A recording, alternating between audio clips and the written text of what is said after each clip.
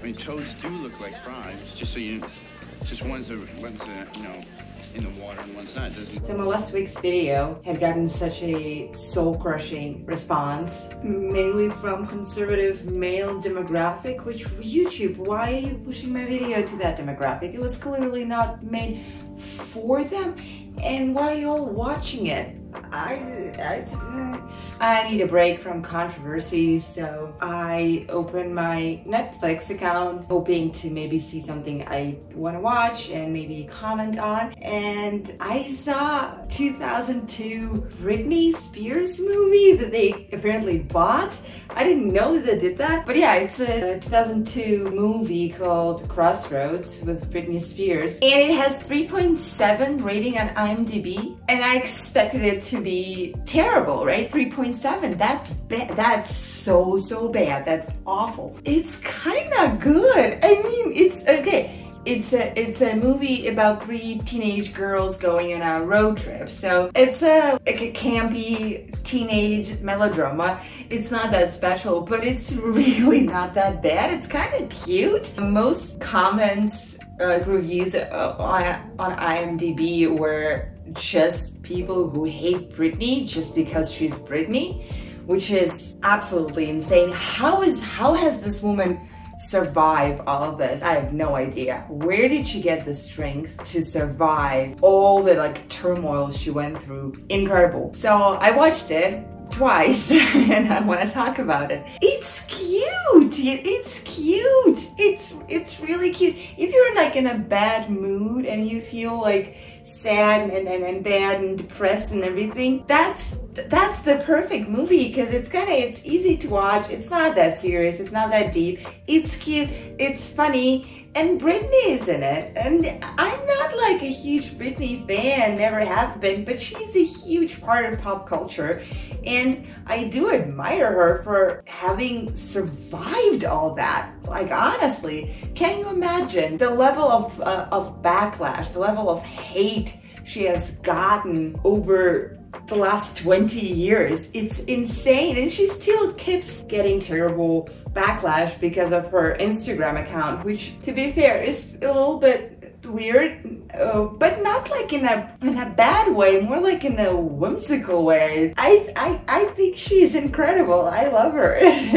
the more I learn about that woman, the more I I like her and admire her. I watched a few clips. Someone made a compilation on YouTube, like uh, the best moments of Britney on X Factor, and she's so cute. She's so sweet. She's like a little bit sassy sometimes but in a very adorable way. She's an adorable human being. So it's the it's a movie about three best friends. Uh, it begins with them being, I'm assuming, like 10 years old, and they're burying a time capsule, right? So they are putting their their things in the in the, in a box, and a mariachi band near my window? I don't know if you can hear it. If you can, I apologize. Anyways, they're burying their, their precious little, cute little stuff in that box. And before, uh, before Britney starts narrating the story, you hear iconic phrase,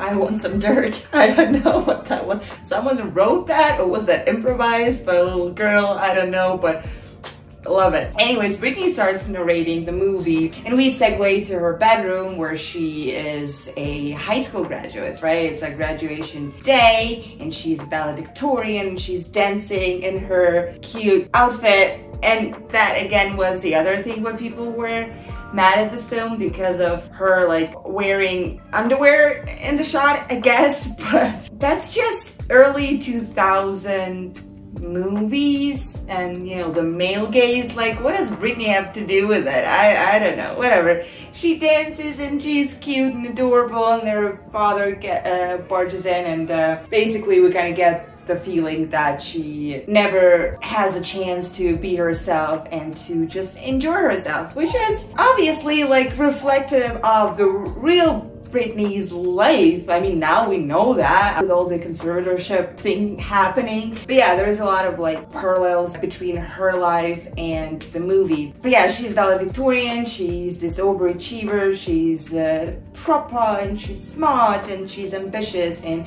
her dad wants her, her to become a doctor. The scene is followed by the prom night, obviously, and uh, the girls in the beginning, the, the 10 year old versions of the girls, they they made a pact that on the night of the graduation, on the, on the night of the prom, they'll go to that place where they buried the box and they will, you know, excavate it and um, do something. I don't know. They didn't plan that far ahead, but they decided they're gonna come back there at midnight and reminisce, I guess.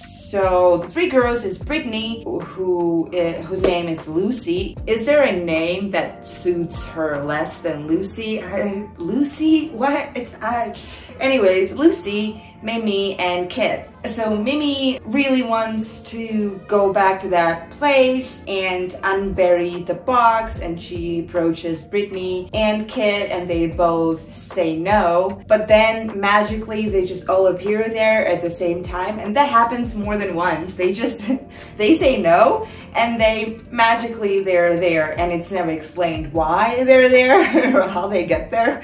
And, and Britney's there with a shovel. Like, what, girl, where'd you get a shovel from? You were at graduation night, at prom night, wearing your cute pink prom dress and then all of a sudden you got a shovel. Where'd you get a shovel from? Is it something you just carry with you at all times?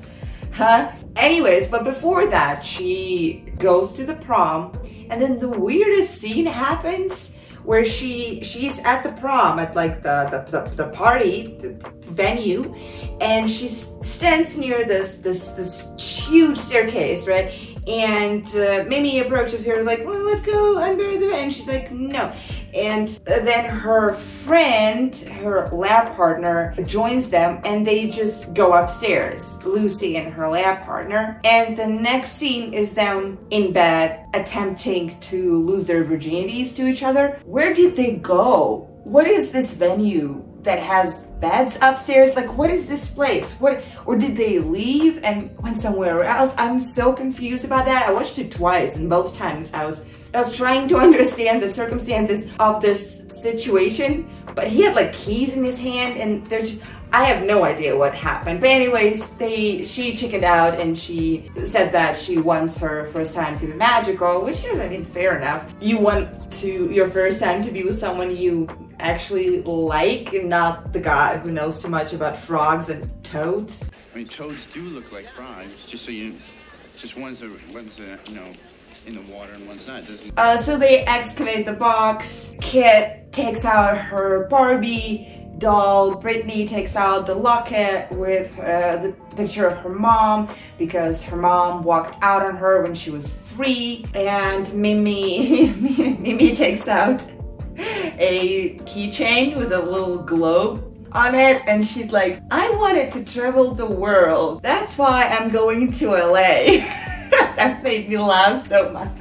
Not Americans thinking that America is the entire world. There's nothing beyond the US. It's just, it's just LA. Anyways, uh, and that kind of jumpstarts the, the entire plotline of the movie. Mimi is going to LA with her friend and she invites them to join her. She She's going to LA to audition for some record label and she invites the girls to join her to, to be uh, back singers and just to yeah, have a fun trip together, whatever. So they all say no, and then the next morning they're at her car. Again, Like we don't see them changing their mind. We don't see like the be the behind the scenes thing. They just show up all of a sudden and they're like, yeah, we're here. Anyways, they jump in into his fancy car and the guy, the car owner, uh, his name's Ben. We briefly saw him at the prom. He was the guitar of the band that was performing there. And the only thing we know about him that he was in jail because he allegedly killed someone. The girls don't know that, only Kit knows that because she overheard someone saying that. Well, she didn't overhear, someone,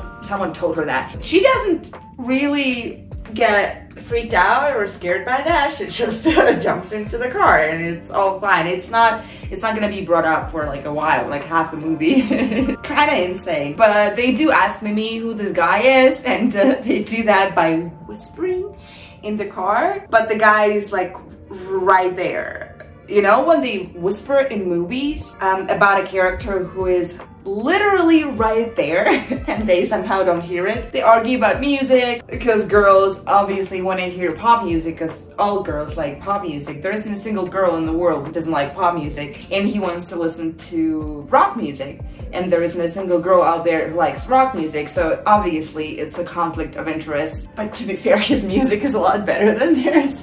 No offense to Britney but uh... so they drive the whole day and then they stop at a motel that is supposed to be disgusting and it's supposed to be like very like disheveled motel that is like ew how can you stay here? And it's a perfectly nice room. Uh, I don't understand Americans sometimes like are we supposed to think that this is an ugly and terrible motel? Some of my actual apartments were worse than that. What are you what are you talking about? I don't speak rich girl. I don't I don't get that. So then the next morning we we see the girls all gossiping in the bathroom about the guy and that's when we finally well everyone finally finds out that he is allegedly a, a murderer.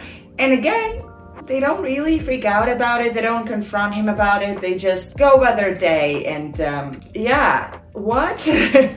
I'd be like on the first flight out of there. At this point, I think hitchhiking is, is safer than this, although it's not. Do not hitchhike. It's dangerous. Anyways, they go back on road and the car breaks down. And obviously, what, what is an early 2000 flick without a hot girl knowing everything about cars? So the car broke down, it's the radiator, gasket, whatever, I don't honestly care. And they need a lot of money and they, they, they don't have. The car broke down in the middle of Louisiana, which apparently is where Britney is from. I guess that was kind of like the reference. Um, anyways, they break down literally like in the middle of highway in the middle of Louisiana. And then they decide to make money by performing at a bar, which I'm assuming that takes place in New Orleans, because where else would you have such clubs where you can perform and make money? How do they get there? Where do they stay? How did they know about that place? They are at this bar. The way this bar works is you can go on stage, you can perform. Um, I don't know what you can perform, I guess anything. And the crowd, they will, if they don't like you, they'll like let you know that they don't like you and if they do like you they give you money. They they pass this jar through the audience and you can put money if you enjoy what you're seeing right? And then of course what kind of early 2000 movie flick without you know putting the main character on the spot. Uh, Mimi was supposed to actually perform but she can't. That's that's all she says. I can't I can't. She never explains why. I mean she's pregnant but she's not like sick or anything. She, uh, she, she, she still stays on stage and she just performs the back vocals. So I don't know, but obviously the whole thing just exists so Britney would actually perform it instead of Mimi and Britney is incredible because of course she is and the crowd gives them a shit ton of money someone in the in the reviews wrote $700 i have no idea where they get this sum from that they don't say that in the in the film but ben counts the money and he says that it's enough to fix the car and for the rest of the trip. The, the cost of a car was like 350 plus labor, so however much that would be, I have no idea, 400, 500, um, plus the trip, and I don't know how much that would be either. So, I mean, they made a few hundred dollars, which is ridiculous. Of course it is, it's ridiculous. That's like, that, that's not gonna happen, no matter how hot you are. Uh, so it is silly, but it's it's cute. Come on, it's cute. It's not like outrageous. The movie is not trying to be serious. It's it's cute. So Mimi goes on stage and girls stay behind as like vocal, um, back vocal singers. And uh, we hear the entire intro to I Love Rock and Roll, which is pretty long. And then she fails and then they have this like very small like communication and then Britney goes instead of her and will listen to the whole intro again.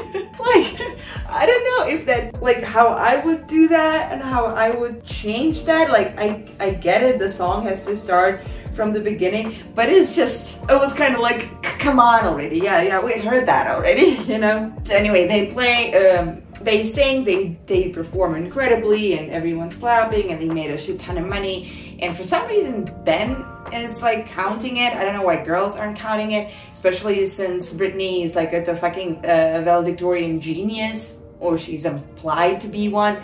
Why is Ben in charge of money? Why why are you trusting him with money, girls? You barely know this man and you think he might have murdered someone. Why are you trusting him with money? Anyways, he's counting the money. Meanwhile, some douchebag is hitting on Britney at the club, right? They're still at this club, bar, whatever.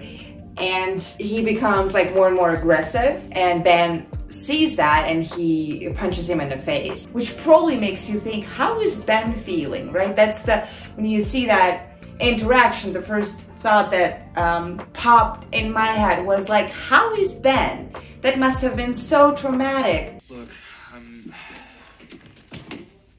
I'm not mad at you for what happened back there, okay? But don't worry, he's fine. He's not, he's not mad. He's not mad at Britney. He's okay. Or maybe he's not because he literally leaves the whole night. They're staying at this hotel.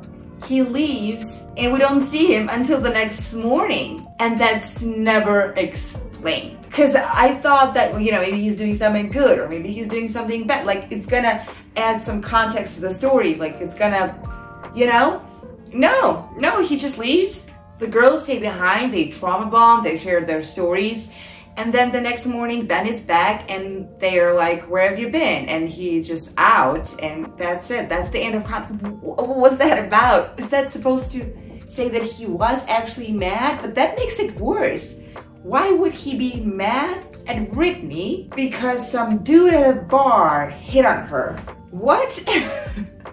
I don't I don't understand that, but I guess we're just supposed to forget that. Whatever, the girls stay behind. So the girls stay behind, they get uh, drunk. Well, Mimi doesn't because she's pregnant, but Kit and, and, and, and Britney, calling her Britney, her name is Lucy, but I, for some reason, I don't like it. I don't know. I thought I, I think it doesn't suit her. Whatever. Britney is Britney. Uh, so the girls stay behind and they share their stories. And Kit talks about her terrible mom, and Mimi talks about pregnancy and um, that it's not actually her boyfriend's or ex-boyfriend's baby. It's some guy who took advantage of her a few months back. And it's it's it's a very cute moment. They talk, they they get close, and they promise to each other to be friends because they kind of drifted drifted apart for a while there and they you know missed each other and they are enjoying each other's company and they made each other promise to, you know, be friends, be better at being friends. They go back on the road and they, I guess they, they have a, a stop somewhere and while girls are shopping or peeing, I don't know what they're doing, Ben falls asleep. So they steal his keys from the pocket and decide to drive the car by themselves, which Ben multiple times mentioned that he does not allow anyone to drive his car, but you know, they didn't want to get stuck in a small city, so they decided to just drive the car by themselves. And then once Ben wakes up, he throws the biggest temper tantrum I've ever seen a grown adult ever do. And I don't know how old he's supposed to be in the movie, but the actor actually is like 28. So he's, you know, he's like my age. He's an adult person. He's not a high school student. He's an grown-ass adult and he just throws this ridiculous temper tantrum. He literally, he goes out of the car and he starts like kicking his foot on the grass and just growling, like making growling noises. Mind you, at this point, the girls still think that he might have murdered someone and went to jail for it.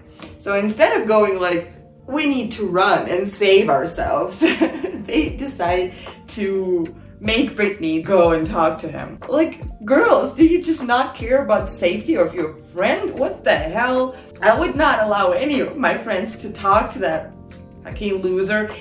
Anyways, she talks to him and she asks him, like, you know, what's wrong? And he's like, I've been surrounded by girls for days. Can you, can you imagine how I'm feeling being surrounded by stupid girls talking about their stupid girly things for days? Oh God! Mind you, she this is the love interest of the story. She falls in love with him. Like the movie is not necessarily about like romance. It's not about that. But she falls in love with him at the end of the movie. She loses her virginity. I hate this phrase. She has sex with him, whatever, for the first time. That's like supposed to be a guy we like. And that's and and that's how he behaves. Early 2000 movies were wild, man, wild. He gets back in the car, he starts driving them again, and at this point they finally confront him about his imprisonment. And uh, it turns out he has been to jail but not because he murdered someone. Uh, he has like an actual story uh, explaining that and it sounds you know just like something that happened. And then he says like so you thought i was a murderer? Why did you get in a car with a homicidal maniac like, is that movie trying to be like self-aware? Because yeah, that's what we were thinking about for the entire movie. Why are you girls in the car with him? Why are you not confronting him about it? Why are you not running the fuck away? And at this point, they stop at some like very beautiful place. They look at the sunset and uh, they decide to camp there. While they're there, Britney reads one of her poems to him. I literally just wrote poem exclamation point in my notes because I don't know what else to say about it. It's not a poem, it's one of her actual songs. But in the movie, it's supposed to be like a poem that she wrote while they were on the road, I guess. And it's just the silliest thing ever. And then he starts laughing for some reason because she has ash on her face. God, the movie is cute. No, it's cute. It's very cute. Genuinely cute. But some scenes are just so ridiculous. Not like in a bad way though, in like in a cute way. But they're funny. Some little bit of foreshadowing happening when they're uh, at their at their camp spot. Mimi teaches Kit how to throw a punch and they'll come into play later. Right, Mimi is the MVP of the story. I love her. Again, like reviews on IMDb, the ones that didn't hate Britney, a lot of them hated her uh, who's by the way the Karen actress, uh, this this Karen 2020 movie. That's her, that's the actress. Just some piece of trivia for you. But I think she did a decent job and I just like her character. If I were to choose a friend out of all of them, I would have chosen her. She's just really fun and cool. I don't know, Britney is a little bit annoying and Kit is just way too spoiled. But they're all cute. Like they're all genuinely likable. I feel like the, the actress who played Kit, she did an incredible job. She had she had to play someone who's like very spoiled and arrogant, but she still is likable. Like I don't hate her character. I still like her just because of the acting. Britney's acting is maybe not Oscar worthy, but it's definitely not as bad as people make it seem in the comments, in the reviews. Like, it's fine. I mean, for someone who's not an actor, she did a great job, especially compared to like other non-actors like Beyonce. Have you seen that? Come on. She did it. She did a fine job, genuinely. Like, she did not fail. And she was rewarded like worst actress by some shitty MTV uh, award or something. Like, it's just so mean. People were just so mean to Britney just to be mean with to her. It was like a thing. Being mean to Britney was like a thing you do. I, I remember that as a teenager. Well, when I was in 2002, I was not a teenager. I was a child. But when hating Britney became like a personality trait, I was a teenager. I remember it very well. I was not a fan of her because I don't like pop music that much. But I, I couldn't understand why people hate her I just, I couldn't wrap my hand around it. It was just, just a weird time. Like a girl had a public mental breakdown and people hated her for that. What? Like now people, I feel like at least the majority of people will be quite empathetic. Weird, weird time. But yeah, for some reason people also hated Mimi, although I think she did, she did great. I don't know. So yeah, she reads her stupid, stupid poem. And uh, they almost kiss, but they don't, because, you know, there always have to be a scene where main character almost kisses her or his love interest, but then something stands in the way and they can't, and you know, uh, they go back on the road, and in the next scene, they are finally in Arizona. That's where Britney's mom lives. One of the reasons why she joined them on this road trip is to see her mom. So they drop her off in Tucson uh, in front of her mom's house, and she goes inside, and they they leave and she gets into uh, Kim Cattrall's house, her mom's Kim Cattrall, and then follows an edifying story about how you shouldn't reach out to your abandoning parent. If they want to reach out to you, no matter how old you are, they'll do that, right? If they're not reaching out, don't waste your time. It's not gonna go well. And it doesn't go well. She gets her heart broken by her mom, which is kind of sad. It, it's a sad scene, honestly. So she goes back to the hotel where they're staying. And for some reason, Ben is consoling her instead of her friends. I don't get that. In order to make her feel better, he surprises her with writing music to her poem and they just organically kind of like sing the song and it just perfectly works out and then they finally kiss and uh love love. But at this point he has done so many shitty things that i hate him. I can't really it's hard for me to be like happy about the character uh, kissing kissing the, this guy even if she is genuinely interested in him because well he's he's quite aggressive, violent, and misogynistic. And why the hell did he ever say, I'm not mad at you? Why would, what would possess you to be like, I'm not mad at you for almost getting sexually assaulted at a club? Excuse me, what?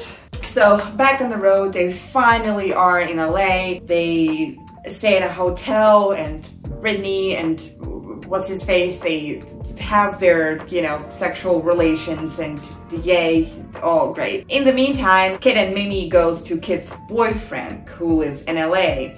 It's not only her boyfriend, it's her fiance. And uh, her reason for coming to LA was to see her boyfriend. So they drive to her boyfriend's door, they knock on the door, and there's a girl there. He's not, he's not alone and she gets obviously very upset about it. And then she notices that he is holding a blue bottle of beer and that's the same bottle that Mimi mentioned in her sexual assault story back at the hotel. And she puts two and two together and she realizes that that's who sexually assaulted Mimi. And she punches him in the face and then Mimi runs, runs away and she falls down and uh, miscarries her child. That's the only scene that I'm actually a little bit mad about there because it's just messy. Just reminds me of our society treats pregnancies, I guess. Because in my opinion, obviously it's just my opinion, in my opinion, this, uh, the scene exists is because the baby is the product of sexual assault. They, the, the, the movie makers don't necessarily want the character to follow through with a pregnancy, which obviously it's up to a woman. She can make the choice whether or not she wants to keep the baby after being sexually assaulted but it is a controversial topic, so they didn't want her, I'm assuming, they didn't want her to actually follow through with a pregnancy, but at the same time, they can't really mention the, the, the A word. They can't really, you know, have her have an abortion because even though 2002 abortions were very much legal, especially in California, it's not something you do, especially in a teen in a teen movie. So in order to make the story play out the way they wanted, they had to literally have her have this traumatic experience of falling down the stairs and miscarrying her baby. And that's very sad it's just a very sad reality we live in, um, especially now with abortions, you know, haven't been outlawed on like federal level. I mean, you can still get an abortion in, in, the state of California, but there are multiple states where you can. It's just, it just kind of made me a little bit sad and, and mad, but I understand why they did that. I don't think they could have done it differently, especially at that time, but it is just a little bit infuriating that that's, that's the reality to be to be honest. So she loses her child and Mimi is in the hospital and Kit visits her and she's very apologetic to her, which also the other the other thing is like why would Mimi not tell her that. I mean, she's literally engaged. Kit was literally engaged to that dude. And you didn't want to mention that that dude is a rapist to your friend. I feel like that's a weird thing to do and it's again it's just like to drive the plot further. I don't think that would have happened in real life so when that happens britney calls her dad i don't really know why she calls him that's never explained but i guess she just figured they need an adult involved in this mess which is smart of course but I don't know, why didn't they call like Mimi's parents? Whatever. Anyway, she to her dad and her dad uh, comes to LA. She, he spends like a shit ton of money on her on his trip to LA. He wants to pick her up. He wants them to go back home to Georgia instead of uh, staying there for a few more days for the audition. And she agrees. She tells Ben and the girls that she's going back home with him and she's not staying through audition and everyone is sad about it and everyone's trying to persuade her to stay but not really like that enthusiastically like kind of a little bit but they give up very quickly. So they get in a car, Britney, the girls, and her dad, they get in a car and they drive for like a second before she changes her mind and tells her dad that like let me go. She's like, don't do what you did to my mom, let me go. Which is like, ew, girl, what? No, your mom is the asshole in that story, not him. What do you, what do you mean? She decides to stay, she gets out of the car and Ben is there. The creepy stalker he is, he's just there. They kiss in front of her dad. They don't just kiss, they like make out in front of her dad, which is another weird thing to do.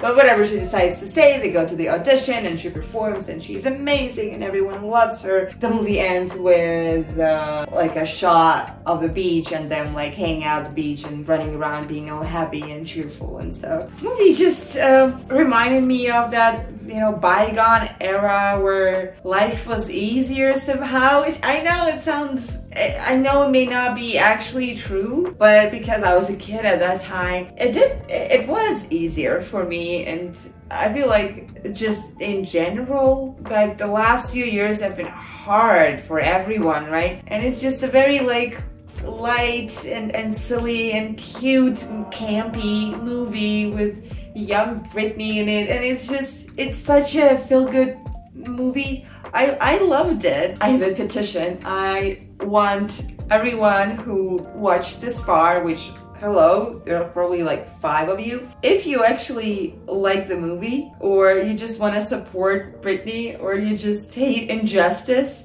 go to IMDb and uh, rated 10. It's not a 10 out of 10 movie. It's like 6.5, maybe 7. But it's 3.7 now, so we need to like up the rating. I feel like it deserves it. It deserves a lot more love. I'm actually gonna do that too. I've never, I've never left a review. I've never rated any movies. Right.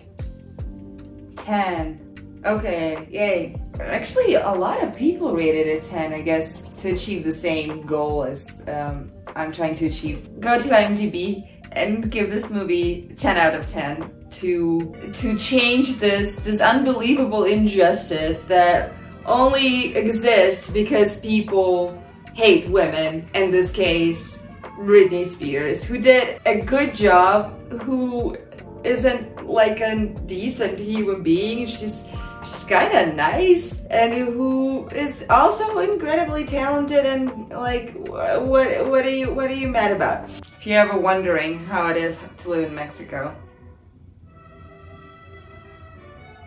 Thank you for hanging out with me. Have a good week and uh, let's change this incredible injustice that happened in the history of early 2000 cinematography.